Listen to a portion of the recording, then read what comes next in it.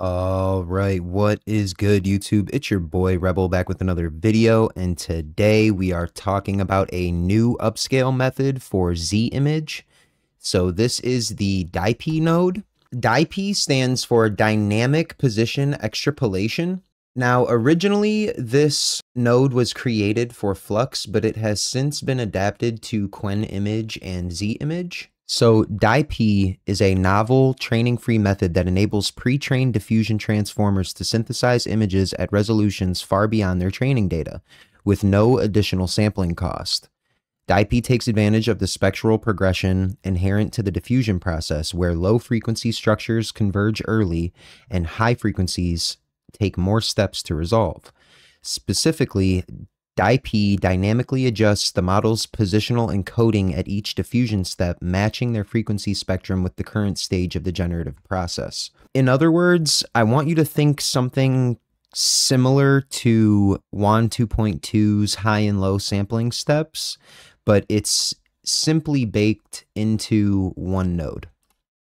And all of the processes happen right here. The first thing you're going to need to do is you're going to need to go to your custom nodes manager and you're going to search DYPE, D-Y-P-E. It will be the first node by Wildminder, and you're going to want to go to the nightly version to stay on the latest update. After that, you can restart your ComfyUI, and then you will go to Civitai, and you will download my subgraph workflow. So the reason that I say to download my workflow as opposed to just implementing the node is simply just for the subgraph condensation. So essentially this workflow is just all of this condensed into three nodes. Um, the only reason is just for accessibility so that you're not like scrolling across the workflow to find things. It just helps with ease of access. So I do have some examples of the upscale node. Um, but I'm going to do something a little bit different and I'm going to showcase my new Midjourney LoRa for Z image with the DyPE node. I do have some examples prepared for you guys today. So we will compare the base model of Z image with the Midjourney LoRa for Z image that I've created.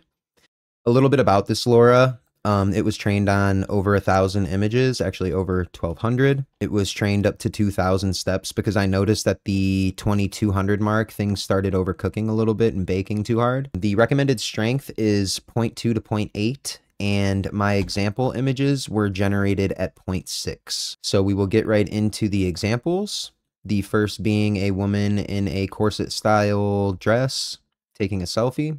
Um, I'm not really going to say too much about these examples because I want to keep this short, but I just want you to pay attention to a few things. Number one, the lighting change. Um, a lot of these images are going to produce more dynamic contrast lighting and um, just, you know, contrast of shading and coloring and also tone changes. Um, but the other thing I want you to pay attention to is the overall aesthetic so these images were all generated on the same seeds, but the aesthetic should change for a majority of these images to a Midjourney style image. So on to our second example.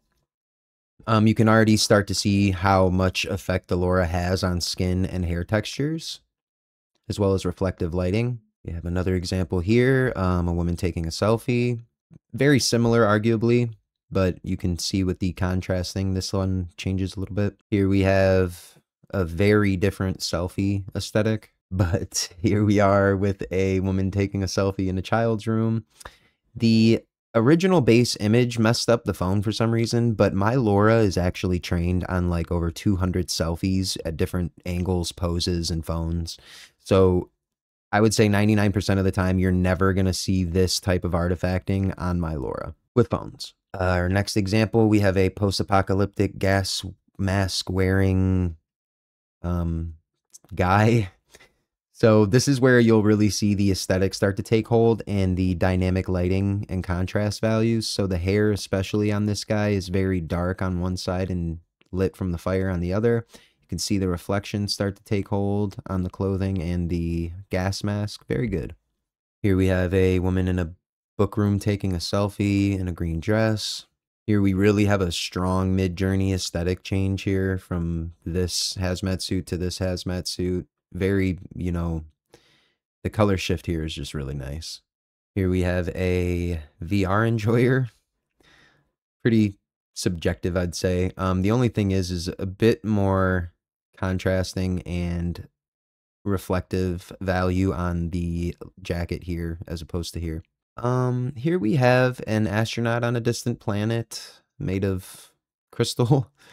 Um, this is a bit subjective. I would honestly go for either one of these. I will say the base image did a really cool style change on the suit with that galaxy type of coloring that's going on inside the metal. Very nice.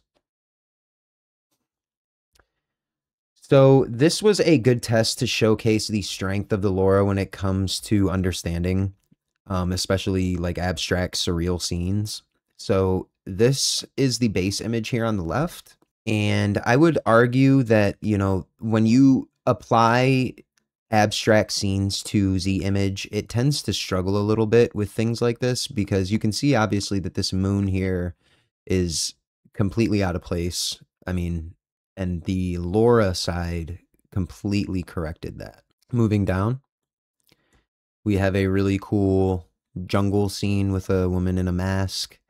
Um, again, a bit subjective on which one I would choose. I do like her horned mask, but the color shift here on this Midjourney LoRA is crazy. I like that green look that it gives. And also the background is a bit more uh detailed as far as the scenery. You have a lot more going on in the background here. Still both great images. Here we have a woman on a distant planet harvesting some type of luminescent rock. Um again subjective. I do prefer the outfit on this subject, but I do prefer this colored rock. It is very cool. So, subjective here. One thing I will say, um this is a bit subjective, but the reflective lighting change here on this cup, you can see how bland that Z image tends to make images look. Yes, this is very abstract and surreal, but the cup in itself is very bland. There's there's no dynamic changes here. This really provides the Midjourney aesthetic on the right side, and you do see that color tone shift on the cup here and in the dish. Moving down, we have a woman in a lime coated room with these colorful balls, pastel colors. Um, again, subjective, but I would argue that the Midjourney kind of captured the aesthetic a little bit better. Uh, here we have a man whispering to his mechanical bird. Um, the golds and the brightness and vibrancy of the Midjourney LoRA just kind of did this a little bit better, I would argue. Here we have a woman with a heart-shaped clock. Uh, both of these honestly captured the Midjourney aesthetic perfectly on both sides. A um, little bit better contrasting on the Midjourney LoRA, but that's again subjective.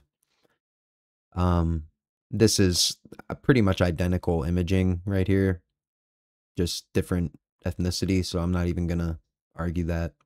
Same thing here. Um, I will say though that this one captured a bit of a more game or Unreal Engine look to the skin texture and overall detail composition. This looks more like a real image or a selfie. So, depending on what you're going for.